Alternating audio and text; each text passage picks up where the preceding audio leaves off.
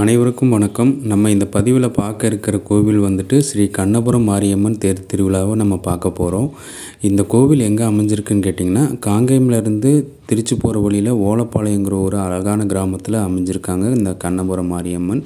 இந்த மாரியம்மன் கோவில் வந்துட்டு ரொம்ப விஸ்தாலமான ஏரியாவில் பெரிய பிரம்மாண்டமான கோவிலாக அமைஞ்சிருக்கு. இந்த கோவில் தான் நம்ம பார்க்குறோம். பாருங்கள் இந்த கோவிலில் பார்த்திங்கன்னா ரொம்ப விஸ்தாலமாக நல்ல அழகாக அமைஞ்சிருக்காங்க. இந்த கண்ணபுரம் மாரியம்மன். அதாவது இந்த கோவிலை இன்னும் பார்க்கல அப்படின்னு நினைக்கிறவங்களுக்காக தான் இந்த பதிவு. அதாவது வீட்டிலருந்து தரிசிக்கணும் அப்படிங்கிறதுக்காக தான் நம்ம எடுத்திருக்கோம் இந்த வீடியோவை. எங்கெங்கேயோ நிறையா கிராமத்துல வந்துட்டு புதுக்கோட்டை கம்பம் தேனி திருச்சி அந்த மாதிரி ஏரியாவிலேருந்து இருந்தால் வந்து இங்கே அம்மனை தரிசிச்சுட்டு அம்மனுக்கு அம்மனுக்கு காணிக்க செலுத்திட்டு அந்த மாதிரி போகிறாங்க அதாவது மாடங்களை வாங்கிட்டு வந்து இங்கே அம்மனுக்கு வச்சு பூஜை பண்ணிவிட்டு இங்கேயே குளிப்பாட்டிட்டு பூஜை பண்ணிவிட்டு அப்படியே அழகாக கொண்டு போகிறாங்க அம்மனோட ஆசீர்வாதத்தோட அந்த காளையாக இருக்கட்டும் பசுவாக இருக்கட்டும் எங்கள் வீட்டில் செல்வம் செழிக்கணும் அப்படிங்கிற மாதிரி வேண்டிட்டு போகிறாங்க அதாவது கோவிலுக்கு முன்னாடியே பார்த்திங்கன்னா க பூக்கடை அந்த மாதிரி கடைங்கள்லாம் இருக்காங்க. இங்கே வந்து நீங்கள் வாங்கிக்கலாம். இது பாருங்கள் இப்போ தான் வந்து ரெடி பண்ணிகிட்ருக்காங்க காளையை அழகாக குளிப்பாட்டி விட்டு இப்போ அதுக்கு அலங்காரம்லாம் பண்ணிகிட்ருக்காங்க பூஜை போடுறதுக்காக அலங்காரம்லாம் பண்ணிகிட்ருக்காங்க பார்த்தீங்கன்னா ஒரு கிராமத்துலேருந்து நிறைய பேர் வந்துடுறாங்க. ஒரு மாடு வாங்குறதுக்கு ஒரு நாலஞ்சு பேர் பக்கம்னாச்சும்? வந்துடுறாங்க. ரொம்ப சந்தோஷமாக? பார்த்து வாங்குறது ஆ, சரிங்கண்ணா. எத்தனை மணிக்கு வந்தீங்கண்ணா? நாங்கள் நேற்று நைட்டு ஒரு மணிக்கு வந்தோம் சரிங்கண்ணா. இப்போ இந்த மட்டும் அலைஞ்சு இப்போ தான் வாங்கிட்டு வந்து பூஜை போட்டு இப்போ தஞ்சாவூர் ஏற்ற போகிறோம் சரிங்கண்ணா. உங்களுக்கு எப்படிங்கண்ணா? திருப்தியாக இருக்குங்களா? திருப்தி வருஷம் வருஷம் வருவோம் சரிங்கண்ணா சரிங்கண்ணா. சரிங்கண்ணா சரிங்கண்ணா. என்ன விலைங்கண்ணா? முப்பத்தி எட்டுங்க முப்பத்தெட்டு. உங்களுக்கு திருப்தி தானுங்கண்ணா? சரிங்கண்ணா.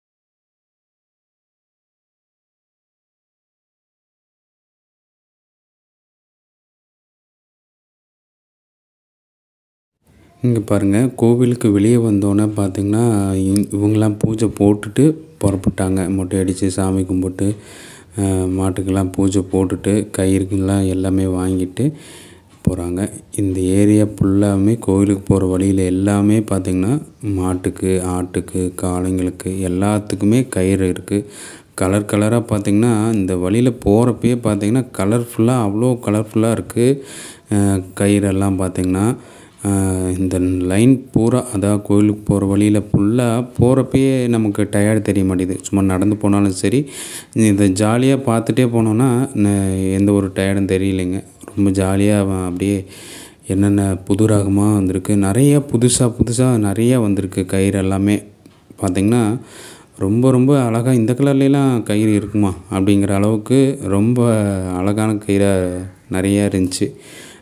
மா மணி அந்த மாதிரி மாட்டுக்கு அலங்காரம் பண்ணுற மாதிரி நிறைய கயிறுங்க எல்லாமே நிறையா இருக்குது பாருங்கள் நீங்களே அப்படியே பாருங்கள் எல்லாமே நிறையா பேர் கூட்டம் கூட்டமாக நின்று பார்த்துட்டே இருக்காங்க.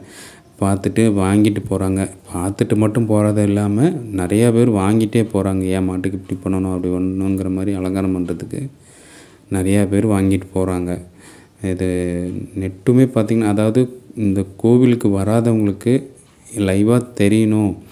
அதாவது இப்படி தான் இருக்குது ஓகே அப்படிங்கிற மாதிரி தெரியணுங்கிறதுக்காக தான் நம்ம சும்மா ஒரு கடையை நம்ம போடாமல் அந்த லைனில் எத்தனை கடை இருக்கோ அத்தனை கடையும் போடலாம்.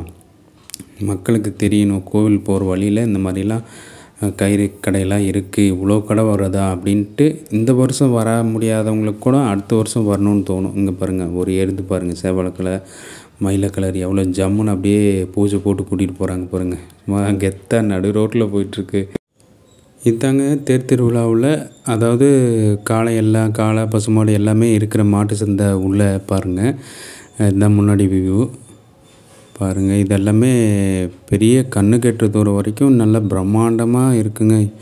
அதாவது மாடு இவ்வளோ மாடுன்னு தான் இல்லை. பாருங்கள் எவ்வளோ பெரிய எருதுன்ட்டு. எருது வண்டி எருது.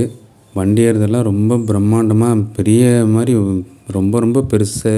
அந்த மாதிரிலாம் வந்திருக்கு. ரொம்ப பிரம்மாண்டமாக இது பாருங்கள் காரி மயிலை. இது அதாவது எந்த மாடு வாங்குறது என்ன ஏதுன்னே தெரியாமல் மக்கள் ரொம்ப முழிச்சு போகிறாங்க இந்த மாடு வாங்கலாமா அந்த மாடு வாங்கலாமா அப்படிங்கிற மாதிரி ஏகப்பட்ட மாடு வாங்குறாங்க. மாடு சேல்ஸ் ஆகுது. அதாவது பாருங்கள் இவங்களாம் கிராமத்து ப பட்டுக்கோட்டையிலேருந்து வந்திருக்காங்க. வந்துட்டு ஊர் பெரியவங்க பார்த்திங்கன்னா ஒரு நாலு பேர் வந்திருப்பாங்களாட்டுக்கு. வந்துட்டு உழவுக்கு வந்து மாடு வாங்குறாங்க. அதாவது நம்ம பார்த்ததுல ரொம்ப ஒரு சந்தோஷம் என்னன்னு கேட்டிங்கன்னா இவங்க நிறைய பேர் உழவு கோவிலில் தான் வந்திருப்பாங்களா இவங்க ஒரு கிராமத்தில் ஒரு அழகான காலை ஒன்று சில பண்ணியிருக்காங்க வாங்கிட்டாங்க. தெரியுறாங்க. வாங்கிட்டு அடுத்து கோயில் அவங்கள்ட்டையும் பேசணும். இந்த மாதிரி இந்த ஒரு பால்மையில் எருது பாருங்கள் எவ்வளோ அழகாக இருக்குது அப்புறம் ஊர்ல ஒரு அண்ணன்? மாடு வாங்கிட்டு இருக்காரு வாங்கி முடிச்சிட்டாரு. வண்டியில் ஏற்ற போகிறாராட்டுக்கு வாங்க நம்ம அவர்கிட்டையும் போய்.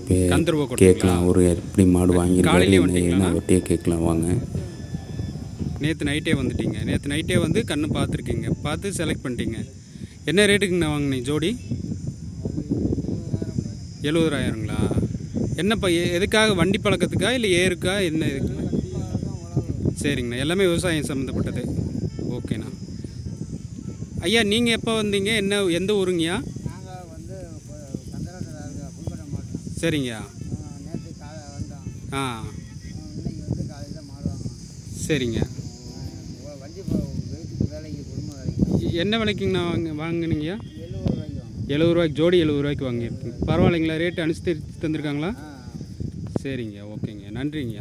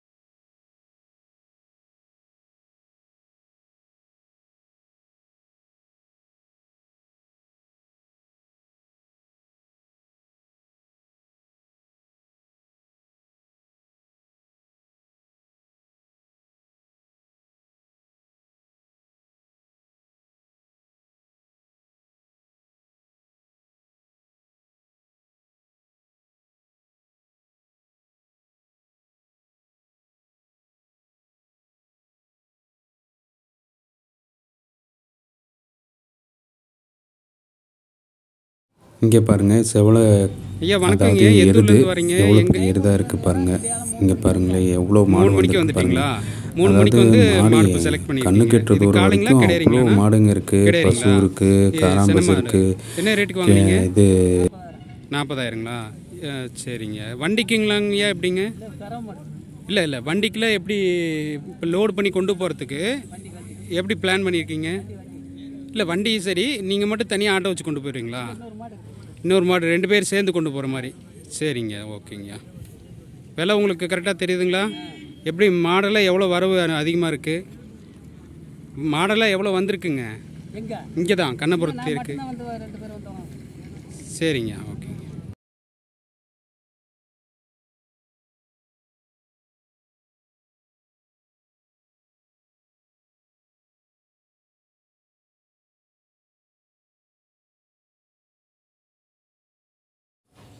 அடுத்து பாருங்கள் இந்த எருது பாருங்கள் செவலை எருது. எருது இல்லை அப்புறம் பாருங்கள் மயிலை. மாடுங்கள்லாம் பார்த்திங்கன்னா விதவிதமாக ரகரகமாக ஏகப்பட்ட மாடு வந்திருக்கு. விவசாயிங்க ரொம்ப பொறுமையாக செலக்ட் பண்ணி இந்த மாடு என்ன நமக்கு சூட் ஆகும். பாருங்கள் ரேட்டெல்லாம் வந்து பட்ஜெட் எப்படி இருக்கோ அவங்களுக்கு தகுந்த மாதிரி வாங்கிக்கிறாங்க.